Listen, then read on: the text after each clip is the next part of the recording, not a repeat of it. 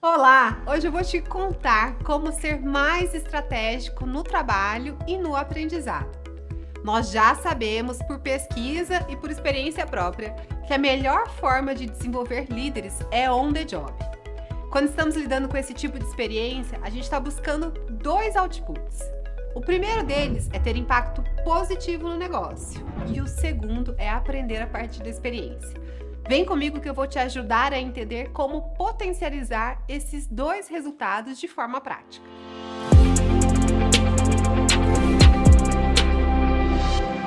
Na prática, muitos líderes têm dificuldade em aprender de forma intencional no trabalho. Mas isso não precisa acontecer com você, que é meu seguidor. A forma como você vai fazer isso é através de perguntas. É importante que você tenha uma estratégia para o desenvolvimento on the job e para entregar resultados. Mas também irá desenvolver suas habilidades analíticas e estratégicas. Geralmente, os aprendizados acontecem como um side effect ou um efeito colateral. Você pode potencializar os dois resultados e acelerar a sua carreira. Dado que o trabalho hoje é complexo e desafiador, envolve múltiplos stakeholders e ainda pressão de tempo, Responder a essas questões com o time e stakeholders não só irá aumentar suas chances de sucesso, mas também irá desenvolver suas habilidades analíticas e estratégicas. Então, vamos lá para a estratégia das perguntas. Para cada uma delas, você fará a pergunta sobre os dois outputs desejados: trabalho e aprendizagem. Primeira pergunta: qual é o objetivo? Na perspectiva de trabalho, você vai se perguntar: objetivo esperado pelo seu time, clientes e parceiros? Está todo mundo alinhado sobre as metas e entregáveis? Nessa pergunta, em relação a aprendizado, você vai se perguntar: qual é a sua intenção de aprendizado a partir dessa experiência? Por que essa oportunidade foi dada para você? O que é esperado que você aprenda a partir dela? A segunda pergunta: como medir o sucesso? Em relação ao trabalho, Quais são as métricas relevantes para todos os envolvidos? O que você está buscando entregar para o cliente? Se você não entregar isso, qual será o impacto? E qual será o seu plano de contingência?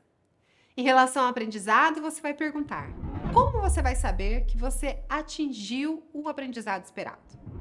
Como os outros vão medir o seu progresso? Quais serão as consequências se você não atingir os seus objetivos de aprendizagem? Terceira pergunta que eu trouxe aqui para você é em relação a onde você está agora. No trabalho, como você descreveria a situação atual? O que precisa mudar? Quão difícil será fazer isso? Já na perspectiva de aprendizado, onde você está na curva de aprendizado sobre essa habilidade ou tema que você quer desenvolver? Pense uma curva S. Você está na base, você está rampando S ou você já está atingindo o patamar superior de maestria? De que formas você precisa mudar? Quão difícil será fazer isso? Eu trouxe ainda uma quarta pergunta. Qual é a linha do tempo ou horizonte de atuação? Sobre o trabalho, quais são os deadlines dos entregáveis? Qual é a data target para completar cada fase do trabalho? Já em relação ao aprendizado, quando você e os outros esperam ver o progresso.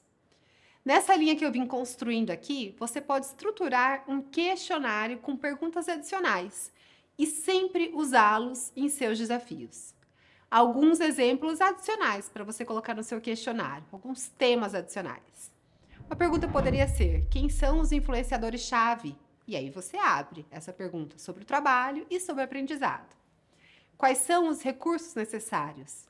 Quais são os principais marcos de evolução ao longo da jornada? Quais são os obstáculos ou objeções? Quem são os patrocinadores?